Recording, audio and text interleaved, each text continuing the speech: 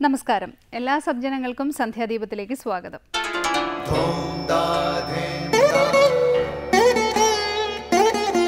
ശുഭം ഭവതു കല്യാണമായുസാരോഗ്യവർദ്ധനം. സർവദുഃഖവിനാശായ സന്ധ്യാദീപം നമോസ്തുതേ നാമം ജപായനം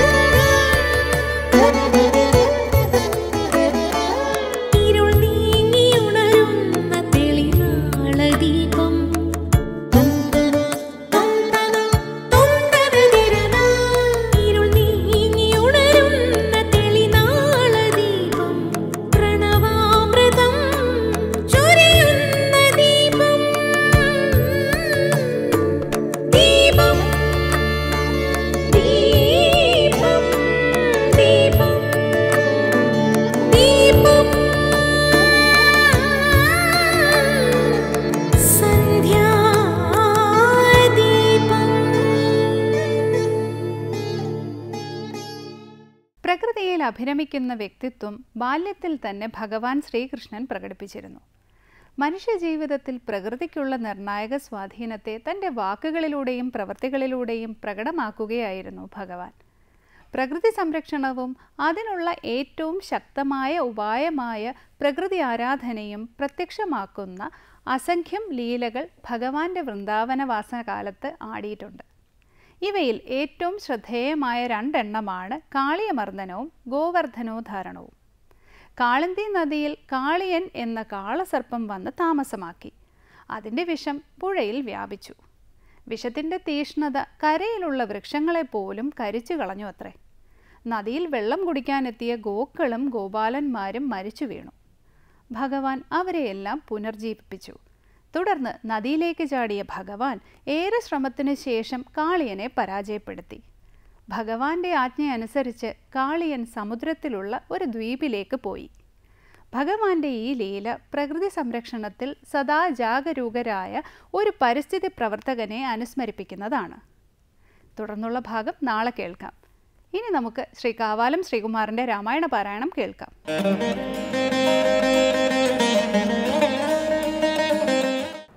പൂജ്യനായൊരു വിഭീഷണനായിക്കൊണ്ടു രാജ്യനിവാസികൾ കാഴ്ചയും വച്ചിത്തു വാച്ച കുതൂഹലം പൂണ്ടു വിഭീഷണൻ കാഴ്ചയുമെല്ലാം എടുപ്പിച്ചു കൊണ്ടുവന്നാസ്ഥയ. രാഘവൻ തൃക്കാൽക്കൽ വെച്ചഭിവാദ്യവും ചെയ്തു. വിഭീഷണൻ ആദരാൽ. നക്തഞ്ചരേന്ദ്രപ്രസാദത്തിനായി രാമഭദ്രൻ അതെല്ലാം പരിഗ്രഹിച്ചിടിനാൻ. ഇപ്പോൾ കൃതകൃത്യനായേനഹം എന്നു ചിൽപുരുഷൻ പ്രസാദിച്ചരുളീടിനാൻ അഗ്രേ വിനീതനായി വന്ദിച്ചു നിൽക്കുന്ന സുഗ്രീവന് പുനരാലിംഗനം ചെയ്തു. സന്തുഷ്ടനായരുൾ ചെയ്തിതു രാഘവൻ. ചിന്തിച്ചതെല്ലാം ലഭിച്ചു നമുക്കെടോ. ത്വൽസഹായത്വേന രാവണൻ തന്നെ ഞാൻ ഉത്സാഹമോടു വധിച്ചിതു നിശ്ചയം. ലങ്കേശ്വരനായി വിഭീഷണൻ തന്നെയും ശങ്കാവിഹീനം അഭിഷേകവും ചെയ്തു. അടുത്തതായി രാമായണ ദർശനം.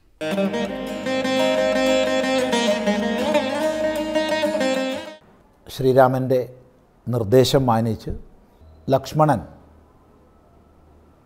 എല്ലാ വാനരന്മാരോടും കൂടെ ശേഷിച്ച രാക്ഷസന്മാരോടുകൂടെ വിഭീഷണനെ ലങ്കാരാജാവായി അഭിഷേകം ചെയ്തു കിരീടാദ്യ അലങ്കാരം ചെയ്ത് ദാനപുരസ്കൃതമായി രാജപദവിയിലിരുത്തി. ദാനപുരസ്കൃതം എന്ന് പറഞ്ഞാൽ രാജാവിന്റെ സ്ഥാനം ഏറ്റെടുത്ത ശേഷം എല്ലാവരും സമർപ്പിക്കേണ്ടുന്ന ദ്രവ്യങ്ങളെ സമർപ്പിച്ചു. അങ്ങനെ കാഴ്ചകൾ സമർപ്പിച്ചു. അനന്തരം പൂജ്യനായൊരു വിഭീഷണനായിക്കൊണ്ടു രാജ്യനിവാസികൾ കാഴ്ചയും വെച്ചിതു. വാച്ച കുതൂഹലം പൂണ്ടു വിഭീഷണൻ കാഴ്ചയുമെല്ലാം എടിപ്പിച്ചു കൊണ്ടുവൻ. നാസ്തയ രാഘവൻ തൃക്കാ തൃക്കാൽക്കൽ വെച്ച് അഭിവാദ്യവും ചെയ്തു. വിഭീഷണനാദരാത്. പൂജ്യനായ രാജപദവിയിൽ ബഹുമാനിക്കത്തക്ക സ്ഥാനത്തിരിക്കുന്ന വിഭീഷണനെ. രാജ്യനിവാസികളെല്ലാവരും കാഴ്ച വെച്ച് ആദരിച്ചു. പുതുതായി അഭിഷേകം ചെയ്യപ്പെട്ട രാജാവിനെ സ്വീകരിച്ച് സമർപ്പണങ്ങൾ ചെയ്തുവെന്നർത്ഥം. വാച്ച കുതൂഹലം കൊണ്ട് വാച്ച വർദ്ധിച്ച വർദ്ധിച്ച കൗതുകത്തോടുകൂടി വിഭീഷണനാകട്ടെ ആ കാഴ്ചദ്രവ്യങ്ങളെയെല്ലാം എടുപ്പിച്ച് കൊണ്ടുവന്ന് ആസ്ഥയ ആസ്ഥ അങ്ങേയറ്റത്തെ താത്പര്യത്തോടുകൂടെ ശ്രീ രാഘവന്റെ തൃക്കാൽക്കൽ വയ്ക്കുകയാണ് ചെയ്തത്. എന്നിട്ട് അഭിവാദനം ചെയ്ത് ആദരപൂർവം വിഭീഷണൻ നിലകൊണ്ടു. നക്തഞ്ചരേന്ദ്രപ്രസാദത്തിനായി രാമഭദ്രൻ അതെല്ലാം പരിഗ്രഹിച്ചിടിനാൻ. ഇപ്പോൾ കൃതകൃത്യനായേനഹമെന്നു ചിത്പുരുഷൻ പ്രസാദിച്ചരുളിയിടിനാൻ. വിഭീഷണനാൽ കൊണ്ട് സമർപ്പിക്കപ്പെട്ട ദ്രവ്യങ്ങളെ നക്തഞ്ചരേന്ദ്ര പ്രസാദത്തിനായി രാക്ഷസ രാജാവിന്റെ വിഭീഷണന്റെ മനസ്സന്തോഷത്തിന് വേണ്ടി മാത്രമായി രാമഭദ്രൻ എല്ലാം പരിഗ്രഹിച്ചു. ഇവിടെ പരിഗ്രഹിച്ചു എന്ന് പറഞ്ഞാൽ എല്ലാത്തിനെയും രാമൻ സ്വീകരിച്ചു തന്റെ സ്വാധീനമാക്കിയെന്ന അർത്ഥമില്ല. അവയെല്ലാം വാക്കുകൊണ്ടോ സ്പർശം കൊണ്ടോ സ്വീകരിച്ചതായി കാണിച്ചു. അതിൽ വിശേഷിച്ച് പറഞ്ഞത് നക്തഞ്ചരേന്ദ്ര പ്രസാദത്തിനായിട്ട്. വിഭീഷണന്റെ മനസ്സന്തോഷത്തിന് വേണ്ടി മാത്രമായിട്ട്. അവയെ പരിഗ്രഹിച്ചു. ഇപ്പോൾ ഞാൻ കൃതകൃത്യനായിരിക്കുന്നു. ചെയ്യാനുള്ളതെല്ലാം ചെയ്ത് പൂർത്തിയാക്കിയവനായിരിക്കുന്നു. എന്ന് വളരെ പ്രസാദപൂർവം ശ്രീരാമൻ അരുളി ചെയ്തു. അഗ്രേ വിനീതനായി വന്ദിച്ചു നിൽക്കുന്ന സുഗ്രീവനെ പുനരാലിംഗനം ചെയ്തു. സന്തുഷ്ടനായി അരുൾ ചെയ്തിതു രാഘവൻ. ചിന്തിച്ചതെല്ലാം ലഭിച്ചു നമുക്കെടോ. ത്വത്സഹായത്വേന രാവണൻ തന്നെ ഞാൻ ഉത്സാഹമോട് വധിച്ചിതു നിശ്ചയം. ലങ്കേശ്വരനായി വിഭീഷണൻ തന്നെയും ശങ്കാവിഹീനം അഭിഷേകവും ചെയ്തു. തന്റെ മുമ്പിൽ വളരെ വിനയത്തോടുകൂടി കൂപ്പുകൈകളോടുകൂടി നിൽക്കുന്ന സുഗ്രീവനെ ശ്രീരാമൻ ഗാഠമായി ആലിംഗനം ചെയ്തു. നിന്റെ ക്രിയയാൽ താൻ അത്യന്തം സന്തുഷ്ടനായിരിക്കുന്നു എന്ന നിലയ്ക്ക് അരുൾ ചെയ്തു. ചിന്തിച്ചതെല്ലാം നമുക്ക് ലഭിച്ചു. സീതാന്വേഷണം അനന്തരം ലങ്കയിലേക്ക് വരുവാനുള്ള ക്രിയകൾ മഹായുദ്ധം ഇതിലെല്ലാം സുഗ്രീവൻ ചെയ്ത കൃത്യങ്ങളെ കൃതജ്ഞതയോടുകൂടി രാമൻ അനുമോദിക്കുകയാണ്. എല്ലാം നിന്റെ സഹായം കൊണ്ട് മാത്രമാണിതെല്ലാം നടന്നത്. ഉത്സാഹത്തോടുകൂടി ഞാൻ രാവണനെ വധിച്ചതും നിന്റെ സഹായം ഒന്നുകൊണ്ട് മാത്രമാണ്. അതുപോലെ ലങ്കേശ്വരനായി വിഭീഷണനെ ശങ്കാവിഹീനം അഭിഷേകവും ചെയ്തു നമ്മൾ. അതിലും സുഗ്രീവൻ തന്നെ ഹേതു എന്നർത്ഥം. അനന്തരം പിന്നെ ഹനുമാനെ നോക്കി അരുൾ ചെയ്തു. മന്നവൻ നീ പോയി വിഭീഷണാനുജ്ഞയാ. ചെന്നു ലങ്കാപുരം ബുക്കറിയിക്കണം. തന്വങ്കിയാകിയ ജാനകിയോടിതം നക്തഞ്ചരാധിപ നിഗ്രഹമാദിയാം വൃത്താന്തമെല്ലാം പറഞ്ഞു കേൾപ്പിക്കണം. എന്നാൽ അവളുടെ ഭാവവും വാക്കുമിങ് എന്നോട് വന്നു പറക നീ സത്വരം എന്നതു കേട്ടു പവനതനയനും ചെന്നു ലങ്കാപുരം പ്രാപിച്ചനന്തരം വന്നു നിശാചരർ സത്കരിച്ചിടിനാർ. നന്ദിതനായൊരു മാരുതപുത്രനും രാമപാദാബ്ജവും ധ്യാനിച്ചിരിക്കുന്ന ഭൂമിസുതയെ നമസ്കരിച്ചിടിനാൻ. അനന്തരം ശ്രീരാമൻ ഹനുമാനെ നോക്കി പറയുകയാണ് നീ പോയി വിഭീഷണന്റെ കൂടി ഇവിടെ നമ്മൾ വിഭീഷണൻ സമീപസ്ഥനായി ഉണ്ടല്ലോ എന്ന് ചിന്തിച്ചേക്കാം. ശരിയാണ്. വിഭീഷണൻ രാമഭക്തൻ എന്ന രീതിയിൽ കൂടെ തന്നെയുണ്ട്. പക്ഷേ ലങ്കയിൽ രാജാവായി വിഭീഷണൻ അഭിഷേകം ചെയ്യപ്പെട്ടു കഴിഞ്ഞു. ഇനി ലങ്കയിൽ എന്ത് കൃത്യം നടക്കുന്നതും വിഭീഷണന്റെ അനുജ്ഞയോടുകൂടി വേണം. അതുകൊണ്ടാണ് രാമൻ പറയുന്നത് വിഭീഷണന്റെ അനുജ്ഞ മേടിച്ച് നീ ലങ്കാപുരത്തിനുള്ളിലേക്ക് പ്രവേശിക്കൂ. എന്നിട്ട് തന്വങ്കിയായ സുന്ദരിയായ സീതയോട് ഉണ്ടായ വൃത്താന്തങ്ങളെല്ലാം പറഞ്ഞു കേൾപ്പിക്കൂ. രാവണനെ നിഗ്രഹിച്ചത് എല്ലാം വിശദമായി പറഞ്ഞു കേൾപ്പിച്ച ശേഷം സീതയുടെ വാക്കും ഭാവവും നീ നല്ലതുപോലെ മനസ്സിലാക്കണം. എന്നിട്ട് എന്നോട് വന്ന് വിവരം പറയൂ എന്ന് രാമൻ കൽപ്പിച്ചു. ഇവിടെയാണ് ധർമ്മവിഗ്രഹമായ രാമന്റെ ആ ധാർമ്മിക വ്യക്തിത്വത്തെ നമ്മൾ സൂക്ഷ്മമായി കാണേണ്ടത്. വിഭീഷണൻ രാമസേവകനാണ്. രാവണനെ വധിച്ചത് രാമനുമാണ്. എന്നിരിക്കെ ലങ്ക പൂർണമായി രാമൻ അധീനായാണ്. എന്നിട്ട് പോലും വിഭീഷണന്റെ സമ്മതം വാങ്ങിയിട്ട് വേണം ലങ്കാപുരത്തിനുള്ളിലേക്ക് പോകാൻ എന്ന് ഹനുമാനോട് നിർദ്ദേശിക്കുന്ന രാമന്റെ മനോഭാവം. നമ്മൾ വളരെ ശ്രദ്ധിക്കേണ്ടതാണത്. ഇതാണ് ധർമ്മവിഗ്രഹമായ രാമൻ. അല്ലെങ്കിൽ പോയി സീതയെ കണ്ടിട്ട് വരൂ എന്ന് പറയാമായിരുന്നു. രണ്ടാമതായിട്ട് സീതയുടെ അടുത്ത് പോയി വൃത്താന്തമെല്ലാം അറിയിക്കാനേ പറഞ്ഞിട്ടുള്ളൂ. രാവണ നിഗ്രഹം എന്നുള്ള വലിയ ദൗത്യം നിർവഹിച്ചതായി അറിയിക്കാനാണ് പറയുന്നത്. എന്നിട്ട് സീതയുടെ പ്രതികരണം വാക്കുകൾ മാത്രം പോരാ ഭാവവും നീ മനസ്സിലാക്കി വരണമെന്ന് നിർദ്ദേശിക്കുകയാണ്. ഇങ്ങനെ ഹനുമാനോട് നിർദ്ദേശിച്ച് ശ്രീരാമൻ ഇരിക്കുന്നു. തുടർന്നുള്ള ഭാഗം നമുക്ക് അടുത്ത പ്രാവശ്യം ശ്രദ്ധിക്കാം.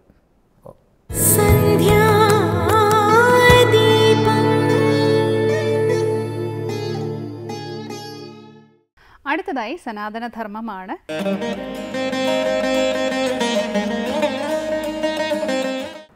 ഓം അമൃതേശ്വരിയെ നമ ചില സ്വഭാവങ്ങൾ സാർവലൗകികമാണ്. ലോകത്തിൽ എല്ലായിടത്തും ഒരുപോലെയായിരിക്കും ആ സ്വഭാവം. നമ്മൾ വീഴുമ്പോഴുള്ള നമ്മുടെ പ്രതികരണം അതിലൊന്നാണ്. നമ്മൾ എന്തിലെങ്കിലും തട്ടിത്തടഞ്ഞ് റോഡിൽ വീണെങ്കിൽ നമ്മുടെ ഉടൻ തന്നെയുള്ള പ്രതികരണം എന്തായിരിക്കും? ആദ്യം നമ്മൾ നമ്മുടെ ചുറ്റുമൊന്ന് നോക്കും.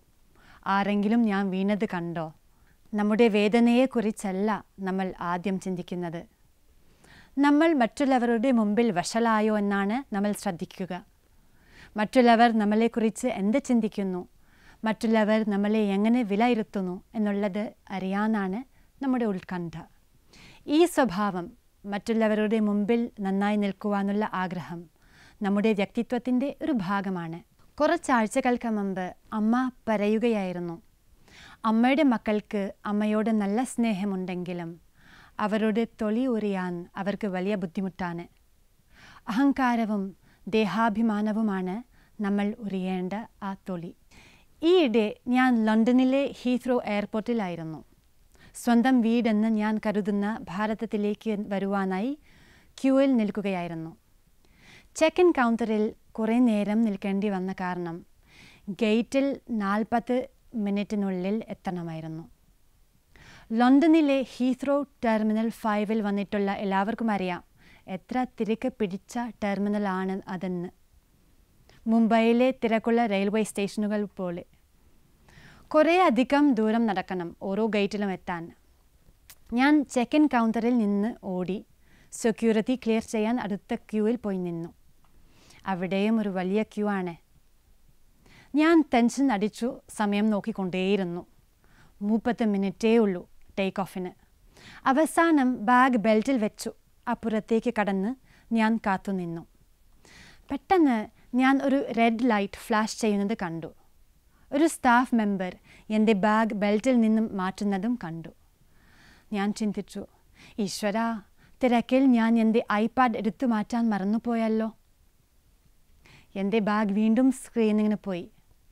ഇരുപത്തിയഞ്ച് മിനിറ്റേ ഉള്ളൂ എന്റെ ഫ്ലൈറ്റ് പോകാൻ. അവസാനം എനിക്ക് എന്റെ ബാഗ് കിട്ടി. ഞാൻ അതെടുത്ത് ഓടി. ആളുകളെ തെറ്റാതിരിക്കാൻ ശ്രമിച്ചു കൊണ്ടോടി എന്റെ ഗേറ്റ് രണ്ട് ഷട്ടിൽ ട്രെയിൻ സ്റ്റോപ്പ് ദൂരെയാണ്. സമയം നോക്കുന്നു. പതിനഞ്ച് മിനിറ്റേ ഉള്ളൂ. ട്രെയിൻ ഇറങ്ങി. ഞാൻ സ്യൂക്കേസ് എടുത്ത് എസ്കലേറ്ററിലേക്ക് ഓടിക്കയറി എസ്കലേറ്റർ കയറുന്ന സമയത്ത് ക്ഷീണവും ടെൻഷനും കാരണമാകാം. ഞാൻ വിരയ്ക്കുവാൻ തുടങ്ങി. സ്യൂട്ട് കേസ് എന്റെ കയ്യിൽ നിന്ന് വഴുതി വീഴുവാൻ തുടങ്ങി. ഞാൻ ഷോക്ക് അടിച്ചു നോക്കുമ്പോൾ സ്ലോ മോഷനിൽ കാണുന്നു. അതാ താഴോട്ട് താഴോട്ട് താഴോട്ട് പോകുന്ന എന്റെ സ്യൂക്കേസിനെ കേസിനെ പിന്നെ എന്താണ് സംഭവിച്ചതെന്നോ? ഞാൻ തിരികെ താഴോട്ട് രണ്ട് സ്റ്റെപ്പ് ഓടി. അത് കുനിഞ്ഞു പിടിക്കുവാൻ ശ്രമിക്കും. അത് പിടിക്കും. പക്ഷേ അതോടുകൂടി ഞാൻ വീഴുകയാണ്. ആ സ്റ്റെപ്പിലേക്ക് ഞാൻ വീഴും. അപ്പോൾ ഞാൻ എസ്കലേറ്ററിൽ മലനടിച്ചു കിടക്കുകയാണ്. എന്റെ പുറം എസ്കലേറ്ററിന്റെ സ്റ്റെപ്പിൽ ഇടിച്ചു ഇടിച്ചു ഇടിച്ചുകൊണ്ട് എഴുന്നേൽക്കാൻ ശ്രമിക്കണമെന്നുണ്ട്. പക്ഷേ എസ്കലേറ്റർ മുകളിലേക്ക് പോയിക്കൊണ്ടിരിക്കുന്ന കാരണം എനിക്ക് എഴുന്നേൽക്കാൻ സാധിക്കുന്നില്ല. ആളുകൾ അമ്പരപ്പോടെ എന്നെ നോക്കിക്കൊണ്ട് നിൽക്കുന്നു. പക്ഷെ ഞാൻ ശ്രദ്ധിക്കുന്നേയില്ല. എല്ലാം ഒരു സ്വപ്നം പോലെ. ഞാൻ ആരെക്കുറിച്ചും ചിന്തിക്കുന്നേയില്ല. കാരണം എനിക്ക് എങ്ങനെയെങ്കിലും ഒന്ന് ഗേറ്റിലെത്തണം. വളരെ പാടുപെട്ട് ഞാൻ എഴുന്നേറ്റു. വീണ്ടും ഓടാൻ തുടങ്ങി. ശ്വാസം മുട്ടി കിതച്ചു വിയർത്തു കൊളിച്ചു. ഞാൻ ഗേറ്റിലെത്തുന്നു. എന്റെ ഫ്ലൈറ്റ് വൈകിയിരിക്കുന്നു. അത് കാരണം അപ്പോഴും ഒരു ക്യൂ ഉണ്ട്. എനിക്ക് ആശ്വാസമായി. ആ ക്യൂവിൽ നിൽക്കുമ്പോൾ കുറച്ച് മിനിറ്റുകൾക്ക് മുമ്പ് നടന്ന സംഭവങ്ങൾ എന്റെ മനസ്സിൽ കൂടി കടന്നു പോവുകയാണ് ഒരു ഫ്ലാഷ് ബാക്ക് ഞാൻ ഇങ്ങനെ ചിന്തിച്ചു തുടങ്ങി. ഒന്നാലോചിച്ചു നോക്കൂ. എന്റെ പിന്നാലെ ആ എസ്കലേറ്ററിൽ വരുന്നവരുടെ അവസ്ഥ എന്തായിരിക്കും? എന്നെക്കുറിച്ച് എന്തായിരിക്കും അവർ കരുതിയിരിക്കുക? അനങ്ങിക്കൊണ്ടിരിക്കുന്ന ആ സ്റ്റെപ്പുകളിൽ കലാപ്സ് ചെയ്തു. അവിടെ വീണു കടന്നു. എഴുന്നേൽക്കാൻ സാധിക്കാതെ. എന്തൊരു കോമാളി. അതല്ലേ എല്ലാവരും വിചാരിക്കുക. അത് ആലോചിച്ചപ്പോൾ ആദ്യം എനിക്ക് ചിരി വന്നു. പക്ഷെ പെട്ടെന്ന് എനിക്കൊരു സങ്കോചം വരും. എന്നിട്ട് ഞാൻ അങ്ങോട്ടും ഇങ്ങോട്ടും ഒക്കെ നോക്കും. ഇവരിൽ ആരെങ്കിലും കണ്ടിട്ടുണ്ടാവുമോ ഞാൻ വീണത്. ഞാൻ വഷളായത് കണ്ട ആരെങ്കിലും ഇവിടെ ഉണ്ടോ? എന്നെ തിരിച്ചറിയണുണ്ടോ? ആ കോമാളി ഞാനാണെന്ന് അവർക്ക് മനസ്സിലായോ? ഇപ്പോൾ എന്താണ് എന്റെ മനസ്സിൽ നടക്കുന്നതെന്ന് എല്ലാവർക്കും മനസ്സിലായല്ലോ. ഞാൻ ഓടിക്കൊണ്ടിരുന്നപ്പോൾ എന്റെ ശ്രദ്ധ മുഴുവൻ എന്റെ ലക്ഷ്യത്തിലെത്തുക എന്നത് മാത്രമായിരുന്നു. അതുകൊണ്ട് വേറെ ഒന്നിനെക്കുറിച്ചും ചിന്തിച്ച് ഞാൻ എന്റെ മനസ്സിന്റെ എനർജി കളഞ്ഞില്ല.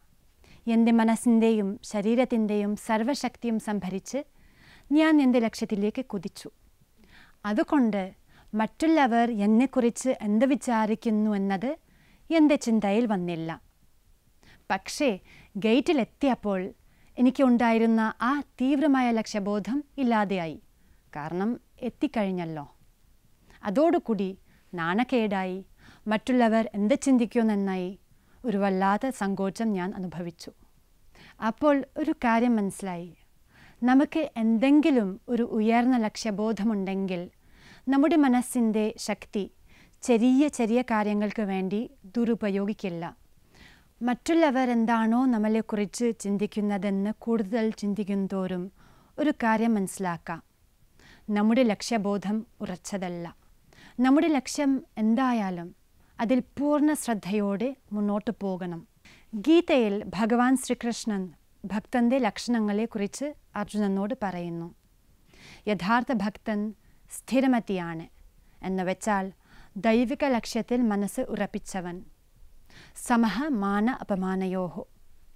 മാനത്തിലും അപമാനത്തിലും സമചിത്തതയുള്ളവൻ. തുല്യ നിന്ദാസ്തുതിഹി. നിന്ദയിലും സ്തുതിയിലും ഒരേ മനസ്സ് കൈക്കൊണ്ടവൻ. അമ്മ പറയുന്നു മറ്റുള്ളവരുടെ ചൂണ്ടിൽ ആകരുത് നമ്മുടെ ജീവിതം. ഇപ്പോൾ മറ്റുള്ളവർ നമ്മളെക്കുറിച്ച് എന്ത് ചിന്തിക്കുമെന്നുള്ളതിലാണ് നമ്മൾ ശ്രദ്ധ കേന്ദ്രീകരിക്കുന്നത്. മക്കളെ നിങ്ങൾ ആത്മവിശ്വാസമുള്ളവരായി തീരണം. ഉയർന്ന ഒരു ലക്ഷ്യത്തിലേക്ക് നമ്മുടെ പ്രേമമൊഴുക്കിയാൽ മനസ്സിന്റെ ദൗർബല്യങ്ങൾ അതിജീവിക്കുവാനുള്ള ശക്തി ലഭിക്കും. ആ ഒരു ലക്ഷ്യബോധം നമ്മുടെ ഉള്ളിൽ തെളിയട്ടെ. നമ്മളുടെ മനസ്സിന്റെ ദൗർബല്യങ്ങളെ ഇല്ലാതെയാക്കുവാൻ അമ്മയോട് പ്രാർത്ഥിക്കാം. ഓം അമൃതേശ്വരിയെ നമ.